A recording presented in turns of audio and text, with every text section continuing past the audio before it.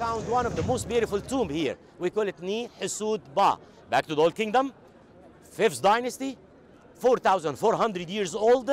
He got a lot of different titles.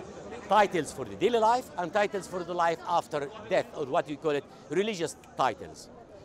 Inside the tomb, we found all the daily life scenes, like harvest, like cultivating, like, uh, like uh, uh, musical uh, band, musical instruments, uh, a guy who's playing the flute and stuff like that. Anyhow, it's very, very important tomb.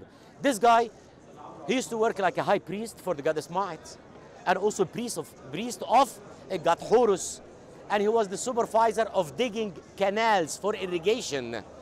And also, he got the title of the chief of the writers. During our excavations, we found another tomb up there, Min Khibr Ra'a, back to the New Kingdom, 18th dynasty. We, we talk about 3,400 years old.